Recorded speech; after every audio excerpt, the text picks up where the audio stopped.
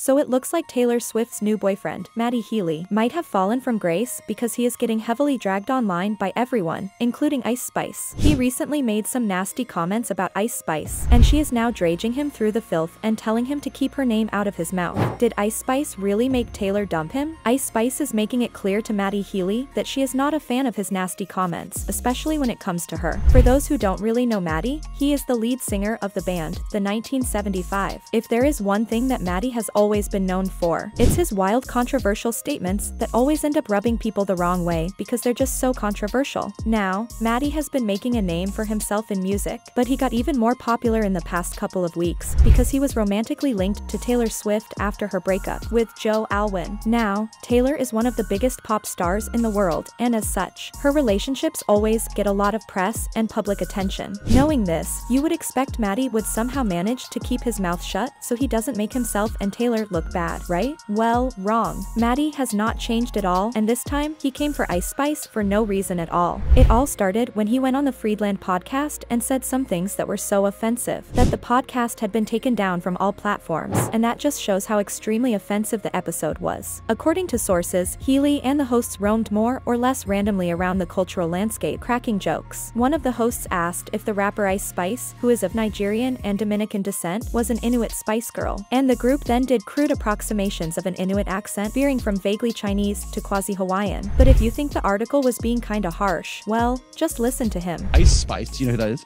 Mm. Nick doesn't know who it is. She's like one of the Spice Girls. Yes, that's she's right. like this she's, rapper. she's the rapper that has the Spice She's an Inuit Spice Girl. Just this chubby Chinese lady. Yeah, I'm rapping in music. Do they talk like that? Do Inuits talk like that? They don't talk with a Chinese It accent. talks like a, a more Hawaiian style. Boom, wah. yeah, more Yeah, Hawaiian. yeah. Welcome to Hawaii. yeah, Like, yeah. Locals only. Locals only. boom, coconut.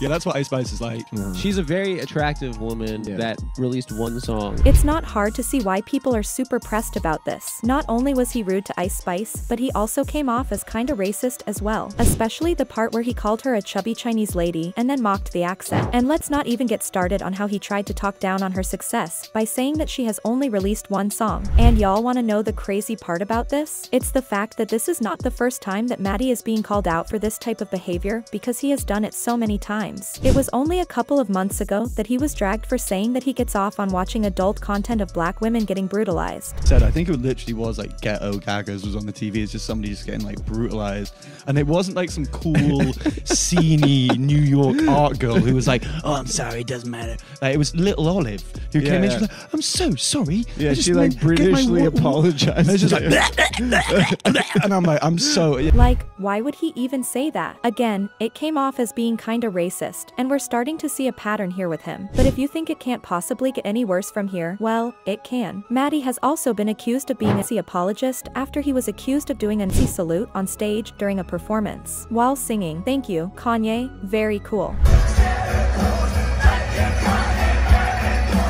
What makes this even worse is that it was during the time when Kanye was facing a lot of heat for his anti-Semitic statements. So not only was Matty showing suppose, but he was also showing support for Kanye and his anti-Semitism. But hold on, because it gets even worse. Matty recently sat down with the New Yorker for an interview where they brought up the topic of his offensive statements, and he has no remorse. According to the interviewer, had he baited his fans on purpose? A little bit, he said, but it doesn't actually matter. Nobody is sitting there at night slumped at their computer, and their boyfriend comes over and goes, What's wrong, darling? And they go. It's just this thing with Matty Healy. That doesn't happen. Maybe it does, I said. If it does, he said, you're either deluded or you are, sorry, a liar. You're either lying that you are hurt or you're a bit mental for being hurt. It's just people going, oh, there's a bad thing over there. Let me get as close to it as possible so you can see how good I am. And I kind of want them to do that because they're demonstrating something so base level. So he thinks that his statements are not the problem, but the fans are the problem for calling him out for his behavior. Yikes. Well, to be fair to him, he did apologize to Ice Spice publicly. sorry about shit that I've said.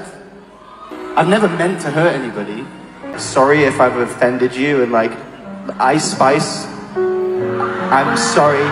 It's not because I'm annoyed that me joking got misconstrued. It's because I don't want Ice Spice to think that I'm a.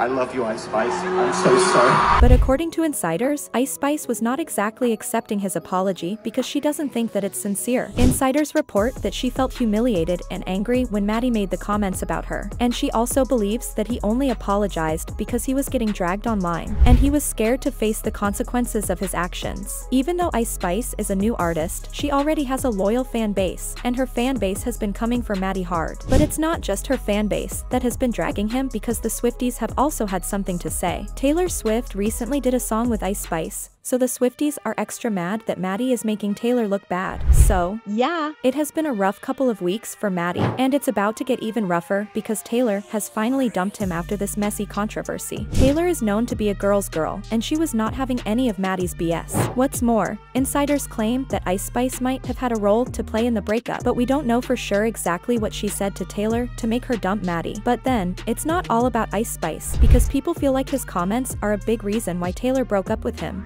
He has been making these comments for way too long, and it's kinda making Taylor look bad. People have been calling her out for sticking with Matty despite his problematic behavior, and it started to reflect negatively on her. And if there is one thing we know about Taylor, it's that she will always protect her career no matter what, and this is probably why she dumped him. But nobody feels sorry for him because he is getting cooked by fans who are saying stuff like, OMG, I knew Matty Healy's vibes were off. So glad I never listened to them. Nasty. Team Ice Spice 110% Matty Healy. How are you getting on stage every night and mocking toxic masculinity and then going on a podcast and undoing the whole thing by being wildly ignorant, misogynistic, homophobic, racist, everything else under the sun disgraceful behavior actually. And Matty Healy is freaking toxic. End of discussion. But do you guys think that Matty is really sorry for his actions? Or do you think he's doing damage control? Let me know what you think in the comments and then check out this next video.